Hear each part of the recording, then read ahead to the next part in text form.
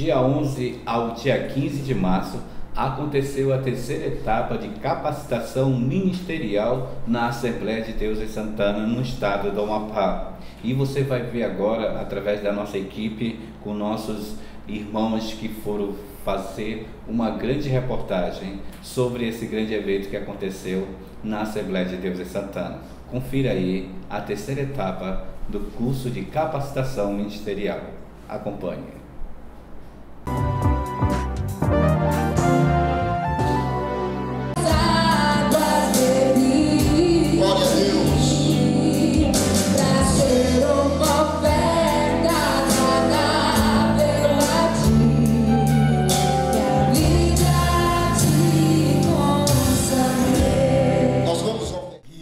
Os dias 12 e 16 de março, a Assembleia de Deus em Santana deu seguimento à capacitação ministerial para o discipulado, realizando sua terceira etapa. Acompanhe com a gente. O professor do discipulado, ele, ele se doa, ele se entrega àquela turma. Ele é muito mais, é mais exigido dele, como professor do discipulado, do que um professor de uma classe comum. Ele tem que estar à disposição, ele tem que estar à vontade para servir os seus alunos. Missão plena: ganhar e cuidar. Essa foi a visão dada por Deus ao pastor Lúcio Francis Tavares, pastor presidente da Assembleia de Deus de Santana, para o ano de 2019, e que, segundo o direcionamento também dado por Deus, se tornará o lema da igreja. É isso que Deus está falando conosco. Esse é o tratar de Deus conosco para este tempo. Eu preguei no começo do ano que esse é um novo ciclo, que esse é um novo tempo e é um ciclo profético que Deus começa, nos dando uma nova oportunidade de crescer, de melhorar e de fazer com excelência tudo o que fazemos para Ele. Na terça-feira, tratou-se da escola bíblica dominical como ferramenta de discipulado. E o evangelista Antônio Abreu nos fala como esse discipulado é possível. A EBD como ferramenta de discipulado, ela é peça fundamental dentro de uma igreja, porque ela trabalha em parceria com o aprendizado, com o ensino da palavra de Deus. Hoje nós temos uma, um problema dentro da nossa igreja das pessoas que chegam e não estão sendo acolhidas. E a EBD, como ferramenta para discipular, não vai deixar mais esse irmão ficar é, solto, disperso, mas tem uma classe pronta, com um professor preparado, com didática, se doando para este ensino, para cuidar dos novos convertidos dentro de cada congregação dentro de Santana. De que maneira a EBD pode somar na construção desse cristão em formação? A EBD, ela pode já com uma classe de discipulado. Essa classe de discipulado, eu conto que deve ter dois professores, como todas as classes.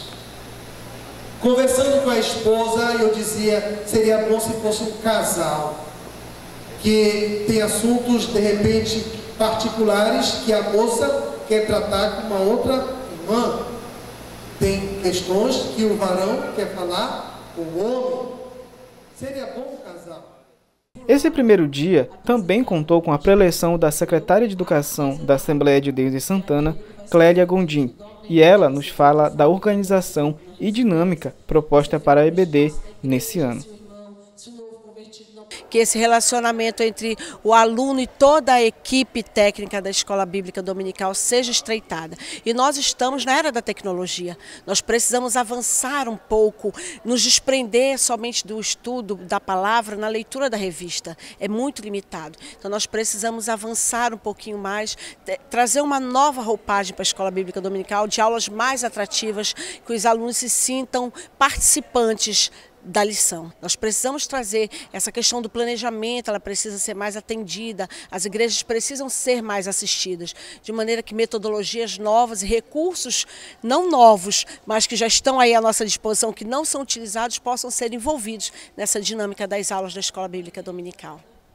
Não basta usar o discipulado como maneira de ser na escola dominical e nem fazer do discipulado um novo espaço, vindo a eliminar ou a englobar o que consideramos como escola dominical. São coisas que vão caminhar distintas.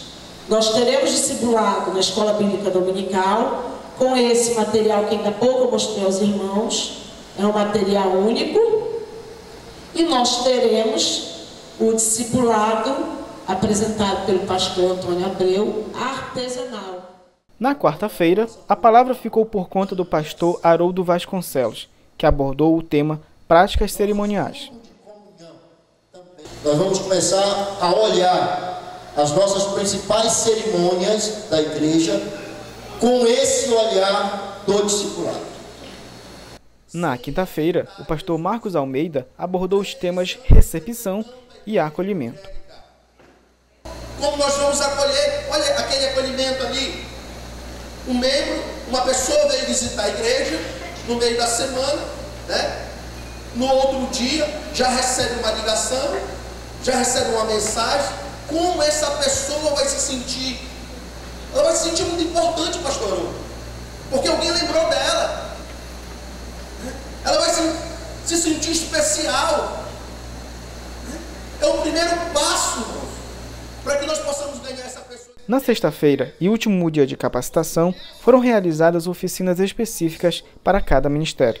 Na congregação Cenáculo, para pastores, dirigentes e obreiros. Na congregação Deus Proverá, para promotores de missões. Na congregação Shekinah, para a liderança do Ministério de Adolescentes. E no Templo Central, para a liderança do Ministério de Jovens e para a liderança do Ministério Infantil. No Ministério de Jovens, o evangelista Robson Tavares, presidente da Umadsan, fala como o discipulado será implantado. Então, Delcinei, Jesus nos deu uma missão: ganhar almas e cuidar de almas. Essa foi a missão que o Senhor Jesus entregou para a sua igreja na terra: ganhar e cuidar. E o discipulado é, vai acontecer de uma forma normal em todas as congregações. Cada congregação vai ter um líder de discipulado e esse líder vai compor uma equipe. Em, e em todas as equipes vai ter de todos os segmentos, tanto da Madsan como da Adsan, como também é, do círculo de oração. Então, cada dirigente de congregação vai compor uma equipe. Vai ter um líder de discipulado e ele vai compor essa equipe, aonde vai participar também membros da Umadsan. Para a liderança do Ministério Infantil, quem ministrou a palestra foi o missionário Wibson Mira, do projeto Tia G. Muitas pessoas imaginam que o discipulado infantil não é desnecessário, porque o discipulado é para levar alguém para o batismo. Ah, é porque é para levar para o batismo e nós não batizamos crianças, então para que discipular criança? Existem muitas pessoas no nosso meio que pensam desse jeito. Né? Mas como nós falamos, o discipulado infantil, ele não tem como objetivo batizar ninguém, mas construir fé. Para Sara Morim, o líder do Ministério Infantil precisa estar bem capacitado. É, essa capacitação é de suma importância para nós, líderes do Departamento Infantil. Ela vai nos proporcionar um conhecimento é, bíblico, aonde nós também vamos estar repassando esse conhecimento para as nossas crianças, fazendo com que eles amadureçam em, si a, a sua fé. Então, quando nós, a liderança infantil, estamos capacitados, é, pautados biblicamente, nós vamos ter suporte, nós vamos ter palavra de Deus para ministrar as nossas crianças. Para o Odair Paiva, um dos organizadores da Escola Bíblica de Férias, a capacitação vem para ajudar a cuidar melhor das crianças alcançadas. Bem, primeiramente, boa noite. É, a importância do, do discipulado é que nós possamos aprender um pouco mais daquilo que nós já sabemos é uma ajuda de suma importância para que nós possamos levar para a nossa congregação, para nós estarmos compartilhando com as pessoas que trabalham juntamente conosco, mesmo que nós sendo também coordenadores da Escola Bíblica de Férias, nós costumamos trabalhar com nossas crianças dentro da congregação, do bairro que está em volta, para que nós possamos alcançar aquelas crianças que não são da congregação, mas que estão do lado de fora, pessoas que não fazem parte da igreja. Então, o discipulado vai nos ajudar muito mais a trazermos esse ano de 2019 novas crianças que ainda não conseguiram se firmar dentro da igreja, que participam anualmente como nos anos anteriores já participaram, mas não conseguiram se firmar. Esse ano, essa, capacitação que está acontecendo aqui, eu creio que nós vamos conseguir alcançar essas crianças, mantê-las dentro da congregação e, quem sabe, ganhar também as suas famílias, seus pais, sua parentela para Jesus, esse ano, em nome de Jesus.